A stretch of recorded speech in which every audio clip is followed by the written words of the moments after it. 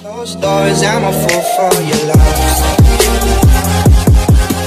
Hey guys, it's Kate and welcome to a new vlog review. So, ang tagal-tagal na natin bago nakagawa ulit ng vlog review na about sa face mask. O, diba? Baliktad pa eh. Ayan.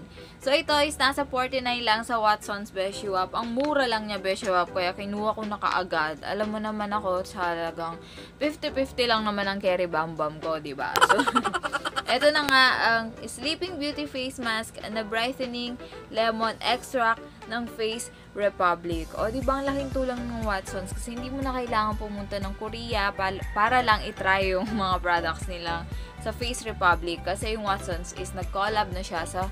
I mean, yung Face Republic pala is nag-collab na siya sa Watsons. Kaya, ayun makakabili na kayo ng products na galing sa Face Republic. And alam niyo naman ang Face Republic sobrang patok na patok sa Korea and sa mga Pilipino and different countries pa na interesado sa mga skincare routine ng mga Koreana or Koreano, di ba?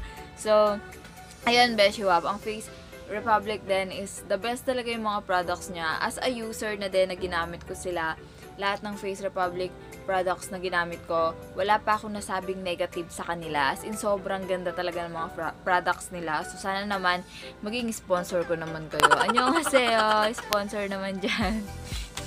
so, ayan guys.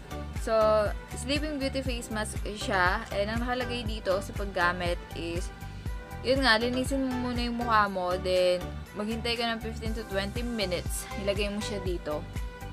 15 to 20 minutes bago mo siya tanggalin. So, ang ingredients nito, may water. O, para sa mga sensitive ang skin dyan, pag bibili kayo ng mga face mask nyo, make sure na meron silang water. Or sa mga moisturizer nyo, make, sure na meron silang water na ingredients. Kasi, malaking tulong yun sa mga sensitive ang skin. So, ayun guys, start ko na to. Nasa ano to? Wait lang, anong lemon ang flavor nito? Halata naman sa picture dito.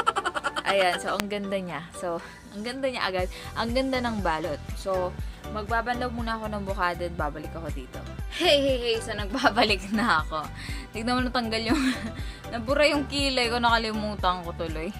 Na nagpa-vlog pala ako. Pero yung lipstick ko hindi ko nakalimutan. No? Diba? so, ayan guys. Umpisahan na natin gamitin itong face mask na ito. Wow, may nabasa pa ako dito. For brightening and anti-aging siya. So, okay naman pala siya, di ba? 49 pesos. Tapos, may brightening